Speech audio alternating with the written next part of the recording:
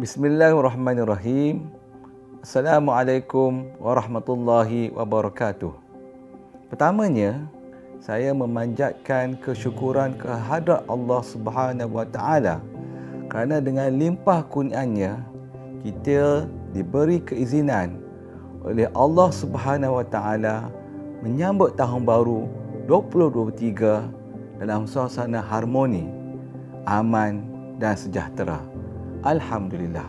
Dalam kesempatan ini, saya menyuruh agar semua warga IKIM dan seluruh pendengar radio IKIM dan penonton TV IKIM dapat memulakan tahun baru 2023 ini dengan penuh semangat, azam serta itizam yang tinggi.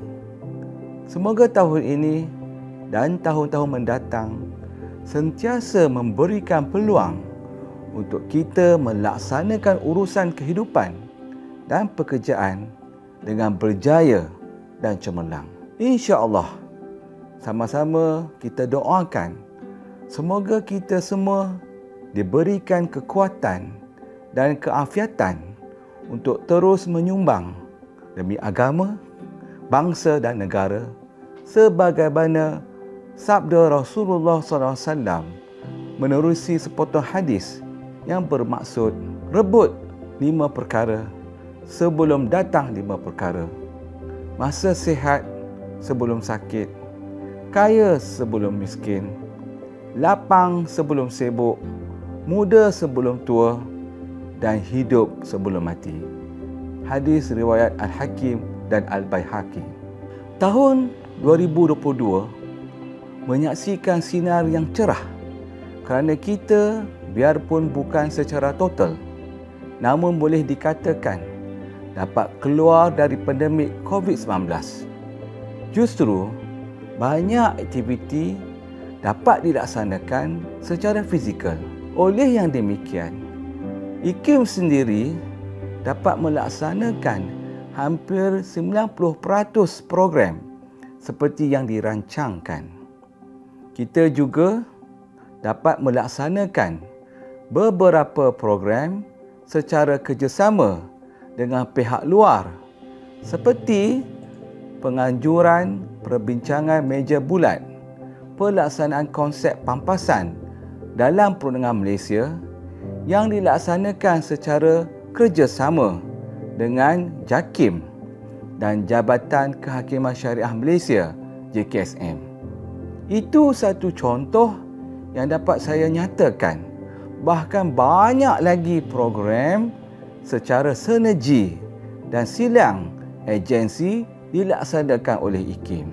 Di sebalik cabaran pandemik COVID-19 dan ekonomi yang tidak menentu, saya merasa bersyukur kerana IKIM pada tahun 2022 berjaya merealisasikan peranannya menyampaikan fahaman Islam melalui penganjuran lebih 30 program yang mana resolusi penganjuran program seperti seminar, persidangan, meja bulat dan sebagainya diserahkan kepada pihak kerajaan yang akhirnya diharap akan memberi manfaat kepada masyarakat.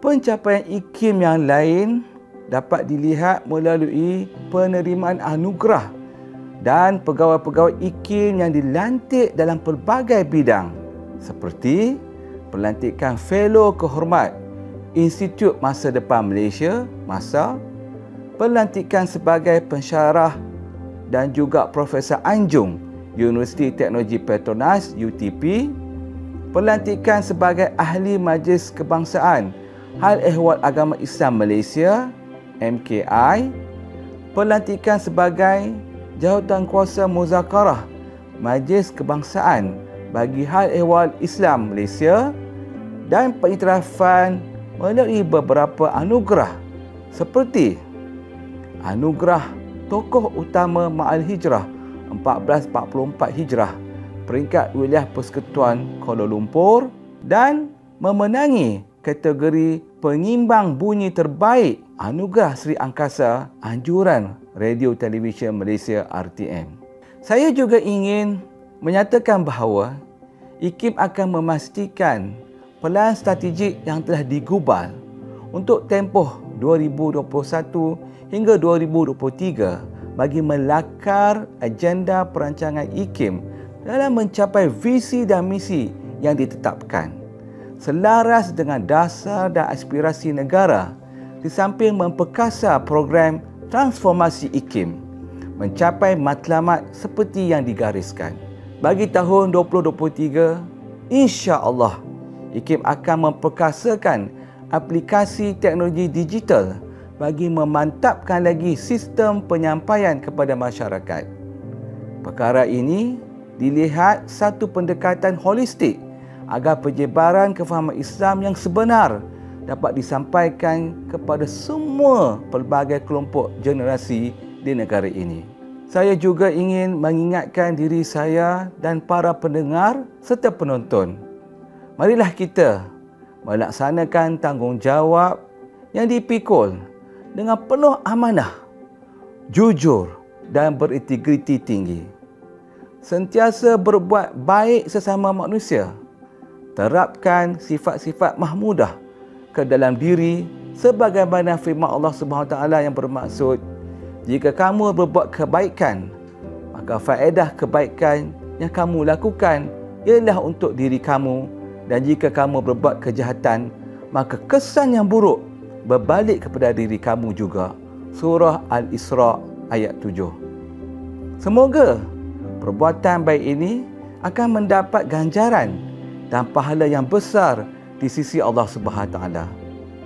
Marilah kita bersama-sama memupuk budaya kasih sayang, menyantuni dan hormat menghormati sesama kita.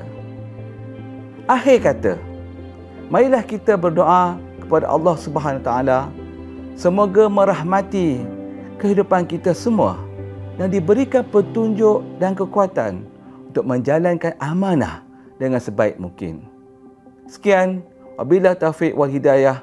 Wassalamualaikum warahmatullahi wabarakatuh.